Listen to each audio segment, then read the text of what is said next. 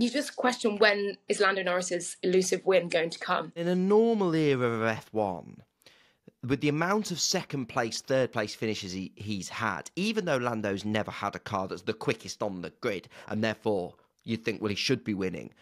Lando doesn't get those scraps because Max just doesn't make those mistakes. So it was a brilliant weekend for Lando. It, it will come. Like it will absolutely come. Hello and welcome to the Fast and the Curious. My name is Christian Hewgill and this is our Chinese Grand Prix debrief. I'm um, flying the Fast and Curious ship a little bit solo today. You don't fly a ship, do you? So it's already off to a fantastic start. You what do you do with a ship? Sail a ship. I'm sailing the ship solo. There we are. Um, because uh, Betty Glover is covering a mix between Champions League football and FA Cup football this weekend. We're very proud of her. Go, Betty. Greg James is on a weekend away in Lisbon. I do like Lisbon. I really do like Lisbon. Some lovely food in Lisbon. So Greg's away on a little weekend break, which means we've roped in a friend of the Fast and the Curious, um, one of our favourite reserve drivers for a second appearance. Welcome back to the podcast, F1 TV's Laura Winter. Hello, Laura. What a lovely introduction. I enjoyed this. What did you say? Flying a ship. You're flying a ship. That was it. Yes. I think I was going for a mixture of flying solo, sailing the ship, and I don't, yeah, uh, not a lot of the things that come out of my uh, brain makes sense, Laura. That's fine. I, I, all all the analogies in one. I, I really appreciated it. But how are you, Christian? You good? Uh, yeah, I'm really well. I'm really well. I uh, thought I was going to be a late night last night, so was worried about the prospect of getting up for the Chinese Grand Prix. Wasn't as late as I thought it was, so it was all fine. But you you're on a rare weekend off from F1 TV duty. So where are you watching from? I'm in Milan, of course. Oh, lovely. I haven't really been to Milan before, um, and so kind of took the chance to have a bit of a city break. And um, sorry, housekeeping have just knocked on the door. oh my! This is perfect. This is in your villa in Milan. Go on, no, let them in. Let them in. We're staying on. This is fantastic. Okay.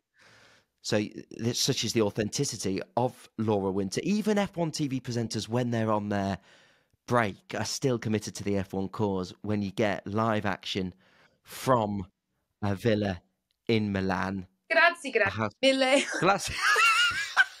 Blending in with the locals. Is she coming back later? Yeah, I don't know. I was like, please, no, just please. She was like, water, milk, anything. Thanks so much.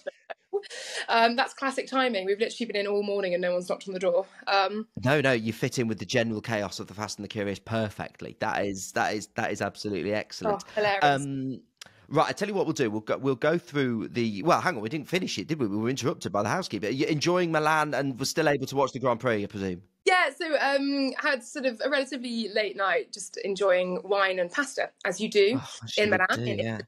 Um, but then, yes, was up at, well, half eight, because it's actually kind of obviously we're an hour ahead here. Um, yes. So one hour closer to the time of the Grand Prix. Um, so, yeah, half eight, not too bad. Up 9 a.m. race. I actually quite enjoy like a Sunday morning race when I'm sitting at home on the sofa. It's a nice way to start the day. Yeah, I enjoyed getting. So I didn't watch the sprint race live on Saturday morning. I watched that on delay but enjoyed yeah. waking up at eight to watch the sprint race, then qualifying. That was a lovely way to start the weekend of a sort of F1 double bill. Yeah, exactly. Um, yeah, qualifying was great, like an 8 a.m. qualifying. And the same for the shootout on um, Friday as well. Yeah, it was it's just a nice way to start the day. Um, we, we won't go into loads of detail on the sprint race because it seems like an age ago mm. now. Mm. But uh, the first sprint of the season, a fan of a sprint, Laura. I like a sprint race, uh, and I, and it was a really good sprint race. To me, it proved why why would you not want that? It was good fun. I like a sprint race. I am a fan of a sprint race. I think there is a time and a place for a sprint race, and I think it's interesting yes. to see them um, experimenting with different tracks each season as well. I think the format, as it is now, I think works. Yeah. And I think equally bringing the cars out of Parc Ferme now after the sprint race on Saturday morning, afternoon, early afternoon, that means that the sprint race doesn't simply act, as Max Verstappen said, as kind of a replica of the first stint of what to expect for the Grand Prix as well. Yeah. The revisions are really good. Um, it'll be interesting to see how it goes and how it looks and shapes up throughout the course of the season at different racetracks as well. But I always think more action on a Friday yeah. in the wet in China for the first time in five years, first time on ground effect cars. Like it was great. It was some of the best racing of the season in that little scrap between, you know, Leclerc, Sainz, Alonso. I absolutely agree. Um, and and you're right. We actually explained that on the last podcast, the the parc fermé rules, where you can make changes to the car again after the the sprint sort of is done. You, the parc fermé opens again, you can make changes before qualifying. So that's really nice.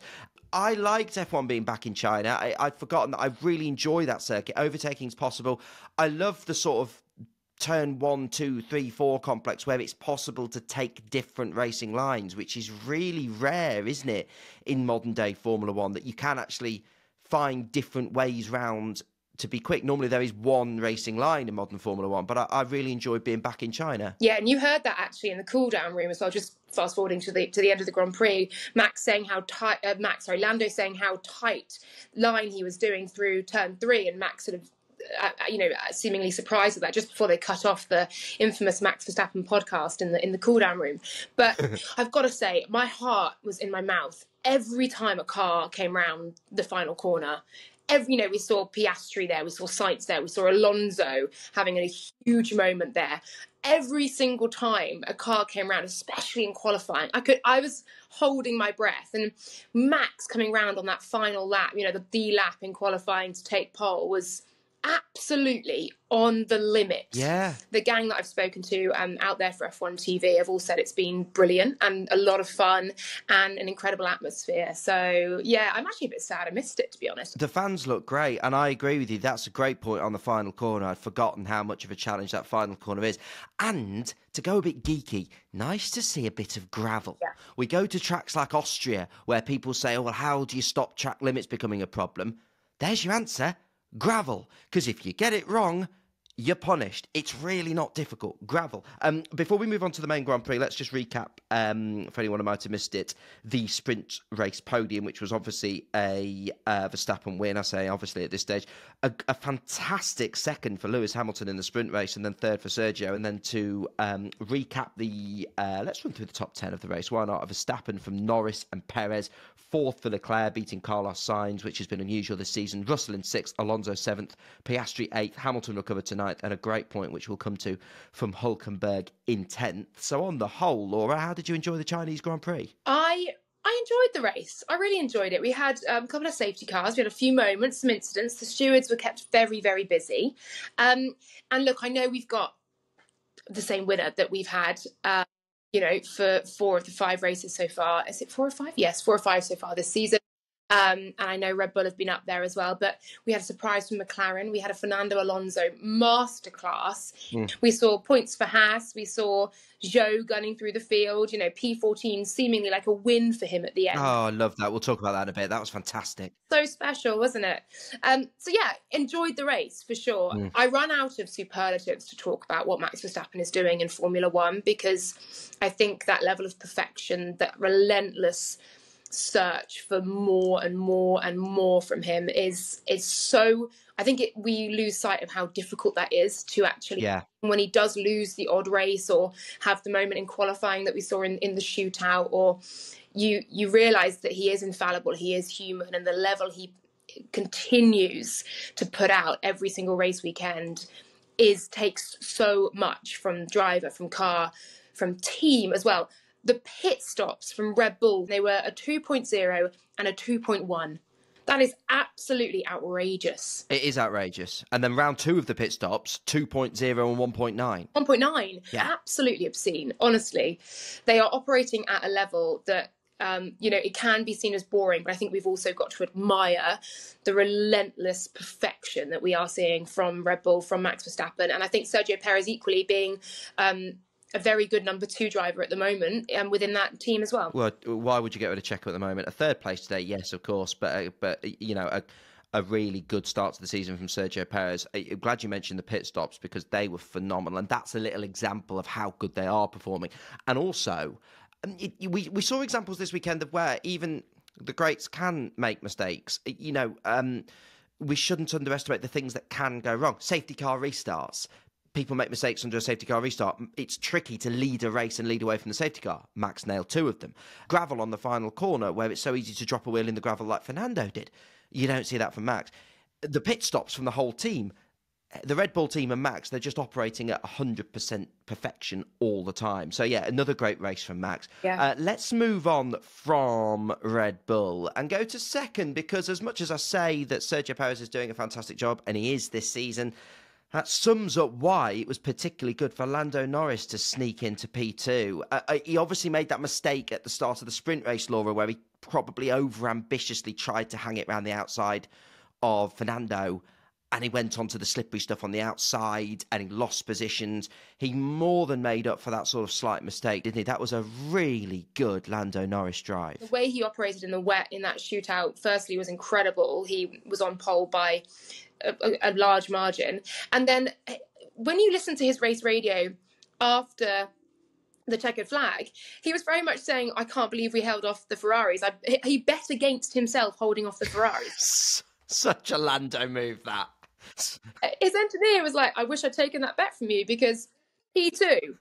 Lando saying, I don't know how, but that was that was fantastic. Mm. You just question when is Lando Norris's elusive win going to come. Um, he does so much right through a race weekend. He makes the odd mistake here and there, and, it, and I know he's so unbelievably hard on himself as well. There's so much shoulda, woulda, coulda from from Lando when you talk to him after, whether he's just off pole or whether he's made a mistake like he did in the sprint, or you know, he is incredibly d- tough on himself, and that first win is eluding him at the moment. But I think it will come. They are better than expected, and they have upgrades coming in Miami as well. So it'll be interesting to see if they can continue to close that gap. Uh, and indeed continue to take it to Ferrari the way they did they did this weekend and close that gap also to Red Bull. Well, people use Lando's lack of a win as a stick to beat him with, but it shouldn't be because he's in an era where, as we've just said, Max is operating at supreme levels. And in a normal era of F1, with the amount of second place, third place finishes he, he's had, even though Lando's never had a car that's the quickest on the grid, and therefore you'd think, well, he should be winning take a race like the 2011 Canadian Grand Prix, where Jenson Button was running P2 and hunted down Sebastian Vettel. And what happened? Sebastian made a mistake. He outbraked himself. He went wide. Jenson overtook and won the race with a lap, two laps to go. That doesn't happen for Lando because Max is operating even at, I believe, a different level to, and that was Seb at his very best, even at a different level to what Seb was doing there. Jenson inherited a win through his own pushing, of course, but Lando doesn't get those scraps because Max just doesn't make those mistakes. So it was a brilliant weekend for Lando. It, eh, it will come. Like it will absolutely come. There's no doubt about that. I think Oscar Piastri he's getting a bit frustrated with himself this season in terms of McLaren's overall pace because um, before we move on from McLaren, that that he's not able to squeeze closer to Lando's race pace. I still think Oscar, you know, he's nobody's doubting he's doing a fantastic job, only a season and a tiny bit into his F1 career. But I think Oscar Piastri is going to be looking, obviously a P8 today, looking at just how he can close that race pace gap to Lando a little bit. That's a big job to do when you're barely out your rookie season and you're up against Lando Norris, but a, a good weekend for McLaren. Outside um, the top drivers, I I want to talk about a moment of the race I didn't expect at the end, where lovely to see a bit of common sense in Formula One and a bit of rule breaking in terms of sticking the the marker thingy on the start finish straight so Zhou could finish the race on the start finish straight in front of the fans. The sort of thing that breaking pro F1 isn't a breaking protocol sport. It's a lot of people in clipboards and high vis jackets telling you off for things, as we both know, Laura. But um, that was just lovely, and that moment where the crowd cheered and Zhou got emotional, properly lovely sporting moment. Yeah, it reminded me of his first race in Formula One, actually, in Bahrain, where he scored points on debut. And I saw him coming out of the garage um, about to head into the media pen and just taking this moment. And I, he was in tears then. You know, he was overwhelmed, overcome with emotion. And then he's had to wait since then to race on home soil. You know, the other drivers seemingly get their, their home races, they're stuck in the calendar. The Chinese Grand Prix has obviously had to come back from the break during COVID and then another cancellation and postponement. And then now in 2024, almost in 2023, in 2024, the Chinese Grand Prix is back, back with a bang a sellout, so much Sauber kit in the crowd as well. Mm. For so many to be there with Zhou. There's that wonderful photo of him as a kid in the crowd. And then it's sort of been put next to him on his knees, you know, crouched down, head in his hands at the end of the race, absolutely o- overcome with emotion. And yeah, look, it was P14 today, and he'd have wanted obviously more. He'd have wanted to be pushing up for points, and, and Bottas was a DNF, obviously, to bring out that first safety car. So it could have been a much better day for Sauber, but I think for Zhou, he was absolutely overwhelmed with emotion. I think it was a very special weekend for him.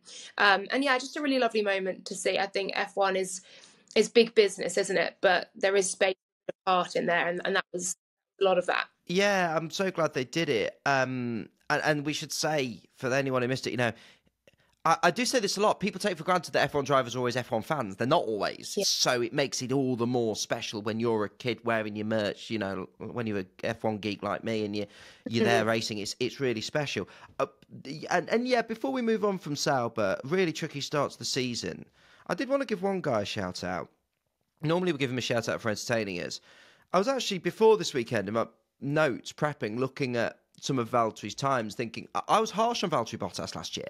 I didn't think he had a brilliant year in Alfa Romeo last year and thought, I don't know what you're supposed to be the one dragging this car up. Yeah. Don't forget the Sauber team's about to turn into Audi, who've got huge ambition. So it's not a guarantee that either Valtteri or Zhou will keep their seat for next season, which is the final season of Sauber before we get the Audi takeover in 26. Yeah. I think Valtteri's reminding people well, he's doing his best to audition for one of those seats. It's uh, uh he obviously got um, unlucky in the race today, an engine failure, but.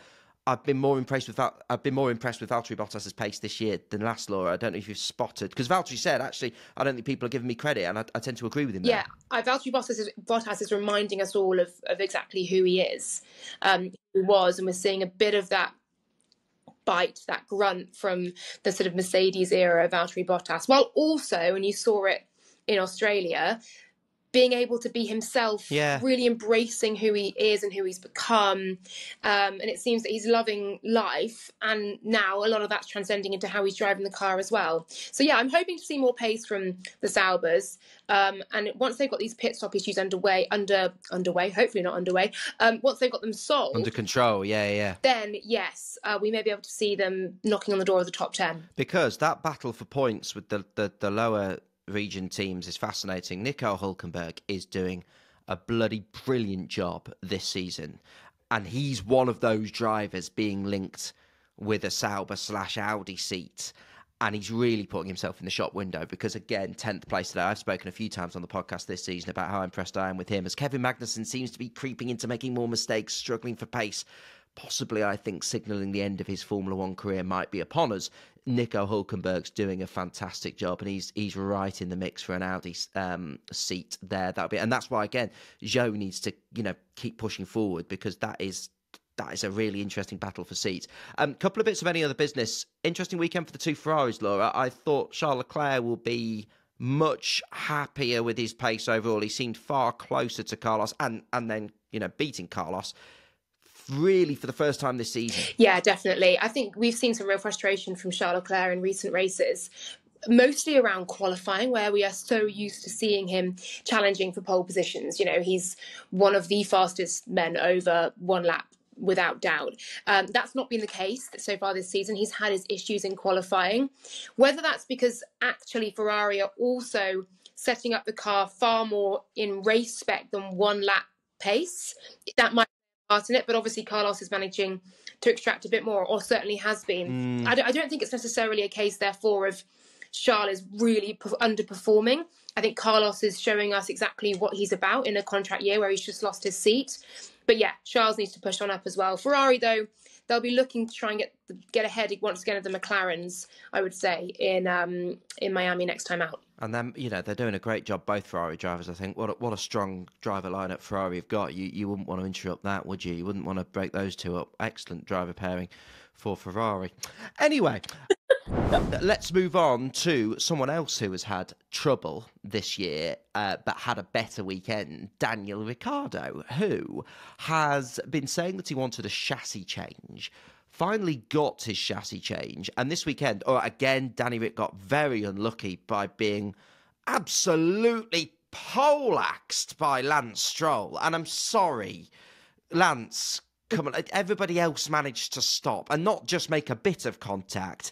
That was like you know when you lose control of a shopping trolley when you're putting it back and you hit the metal barrier at the front of the thing and you make a real noise and everyone looks and you're like sorry uh.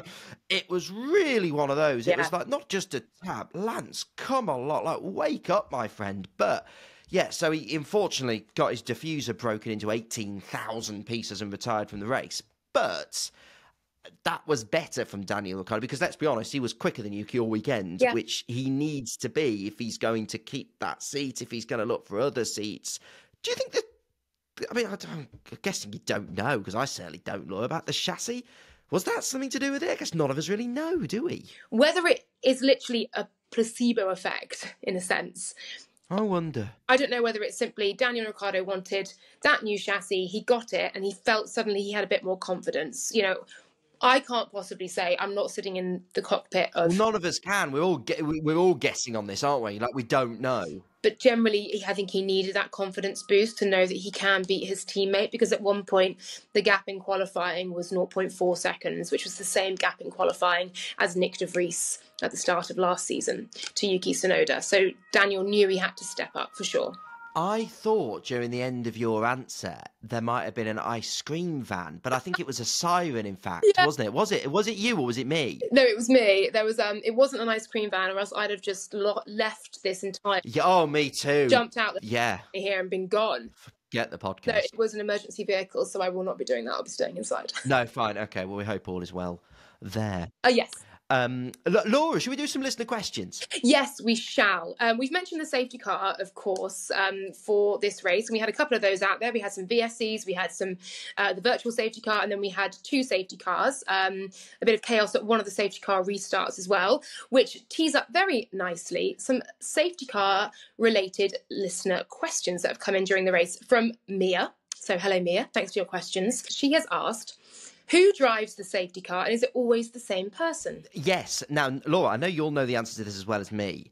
Um, it is a man called Bernd Mayländer who is a German race car driver. Because let's not, you know, that safety car looks like it's sort of pottering around a, a, village in comparison to the Formula One cars. It's not. I've been driven. You've been in it, haven't you? Yeah, I've been driven in the in the wet in. Oh my gosh, I think it was Canada. Oh, that's awful that I can't remember, but I think it was. Sorry.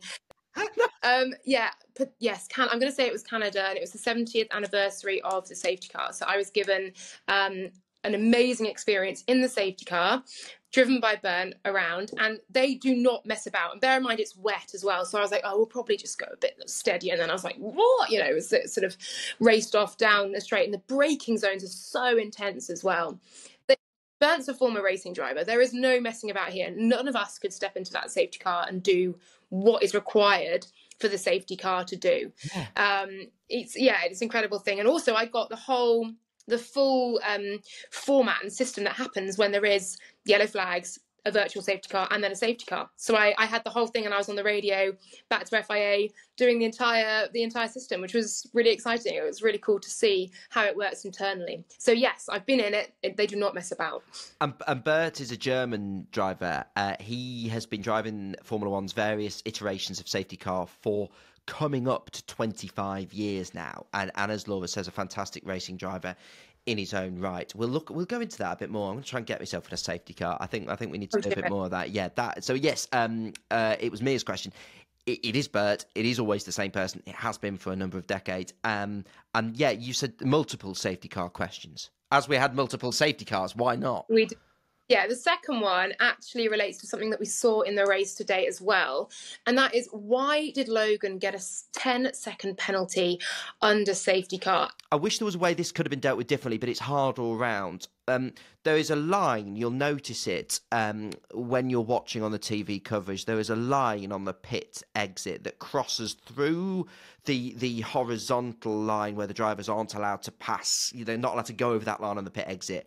There's a, a there's another line going across the circuit, which is called the safety car line. Now, Nico Hulkenberg pitted under the safety car. Logan Sargent was coming round to overtake him, and because Nico was coming out the pits and hit that safety car line before Logan did, it should have been Hulkenberg's position on track. However, Logan got there just behind him. Logan swept round and overtook him and should have given him the place back. But we are talking centimetres. And for the drivers, it's a physical impossibility to see that with the front wing. You're not seeing that. For the team to have been watching that, there's a lot going on. That's too harsh to turn around and say, you should have seen that. So it was a fair penalty. It's just a really bloody harsh penalty yeah. because there's not a lot Logan could have done, not a lot Williams could have done without some superhuman responses, which means um, it wasn't investigated until the race got back going again. I think I'm right in saying. Laura? Yeah, flurry of penalties came in um, all at the same time as, as we were into that final stint after the safety car restart. I, there's no yeah. way that Logan could have seen from his position within the car. Um, yeah, it, it's ultimately down, therefore, to the team being able to communicate to Logan. But it, as you say, and you know, with with everything that was going on, uh, it's it's difficult, isn't it? But it's yeah, ultimately, it's on the team. It is on the team. Uh, who are we not sitting on a pit wall. It, it, with so much going on with it, it God, it's really tricky. Uh, and even they're watching on monitors by the naked eye. You know, you've got a split second to judge that. You could not see by the naked eye. Would have been nice if there was a, a you two swap round. Yeah. I think by the time it had been spotted, the race had got going again. Therefore, it was too late. If that had been spotted under the safety car, you have seen positions where because you need to give that place back, and it would have been like, all right, fair enough. That would have been the ideal situation, but it was spotted too late, and therefore it was a penalty. Just really unlucky on what had actually been. I still think Logan's got a lot to do to claw it back, but it had actually been his best race of the season. He was right up there with Alex, which is where he needs to be. That that car is not quick enough to score points at the moment, but Logan to keep his seat needs to be right on Alex's backside. And and actually that's as close as he's been all season. So hopefully Logan will be able to take that going into his home Grand Prix. We're hoping to speak to Logan very soon on the Fast and the Curious. That is TBC because he's a very busy man, but we're hoping to grab a word with him at his home Grand Prix. Um, awesome. Laura, it's been an utter pleasure chatting through the race with you, an utter pleasure. Can we just do a bit of total fast and curious nonsense with you before we let you go back to your weekend away? Please, yes. Pizza is calling me, but I couldn't possibly head out for pizza until I hear some nonsense. So let's do it. Um, a couple of weeks ago, when we have we have our lovely Fast and Curious studio, we also do these episodes from home. Where I've got some soundproofing behind me, and an incredibly um, eagle-eyed listener spotted on uh, on YouTube. You can watch these episodes on YouTube now if you're not aware. Search Fast and the Curious on YouTube. There is a tiny. I don't know if you could see it, Laura. Here, there is a tiny little Formula One driver given to me by my friend Chris in my soundproofing. Just there, can you see? Yeah, a little white. It's a white speck from where I'm sitting here. And somebody spotted that. No. And did the whole like zoom in? Well, we've purposely not brought the dinky driver to the camera to, to make what is Formula One's hardest quiz, Guess the Dinky Driver. Now, so far, our guesses have included Zhou Guanyu, it is not, George Russell, it is not, uh, and the late great Juan Manuel Fangio, it is not. Oof, okay. So we're asking our listeners once a week to guess. Now, bear in mind that's that's pretty much it in terms of clues. Oh, I think we also gave away that they are a European driver. But that is all we know. Not Zhou, not Russell, European, not Fangio. On the grid or any time, any era? Well, that that is yet to be established. Right. And found found at an antique shop. oh, normally, Laura, normally we would give people we give our listeners one question and one guess.